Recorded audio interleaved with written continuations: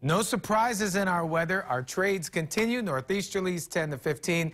And those windward showers, of course, sometimes moving leeward. Little wet today, but should be gradually drying over the next several days. 82 Honolulu, 80 Kahului, and Hurricane Olaf still far to the southeast of the islands and expected to stay to the east of the state. Potential impacts minimal, with the exception of some east shore surf this weekend that could be into warning levels. So very dangerous ocean conditions as uh, that surf begins to move move in this weekend. But other than that, no significant changes with the winds or the rain. The potential for some more northerly winds, possibility, it just depends on how close the system comes. Until then, a lot of our windward shower activity from Maui through Kauai today, that's starting to dry up. Tonight, much of the focus will be over the Big Island and Maui as another swath of rain clouds gets pushed to the state through our trade winds.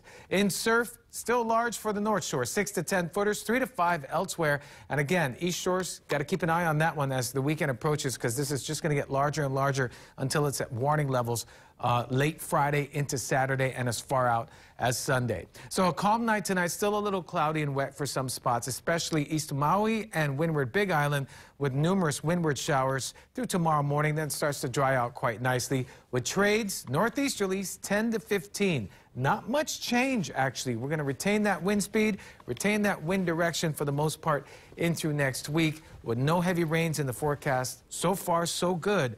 Uh, the weather looking this weekend. It's actually going to be very nice and calm for the next several days. Okay, sounds good. Thanks, Joss. You're welcome, Joe.